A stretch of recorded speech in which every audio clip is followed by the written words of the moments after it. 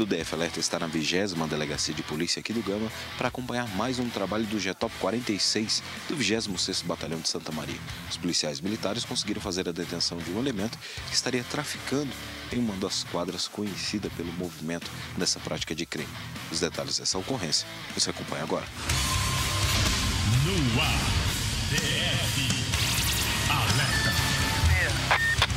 policiais militares já suspeitavam que uma distribuidora de bebidas na quadra 203 lá de Santa Maria tinha um movimento estranho.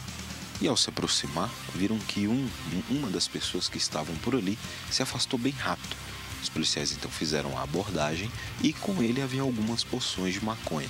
Perguntado o que ele estava fazendo com a droga, ele disse que era usuário, foi na feira do Pedregal, no Novo Gama, comprou uma quantidade um pouco maior mas que não estaria traficando.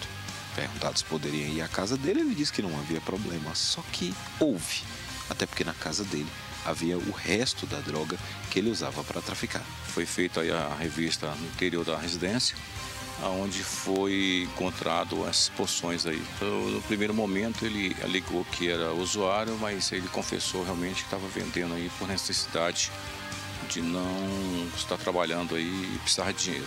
Pedro Henrique Oliveira Fonseca foi trazido aqui para a delegacia. Ele já tem passagem pelo crime de roubo e agora estaria se aventurando num tráfico de drogas.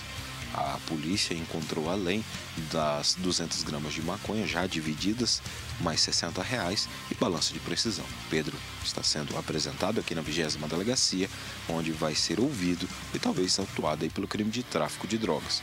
O que estava no roubo saiu para se aventurar no tráfico e ganhou de novo uma cadeia. Def alerta, é verdade, na lata.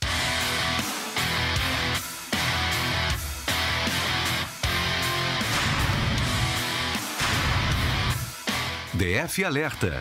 Oferecimento Terra Cap. Seus investimentos em terreno seguro.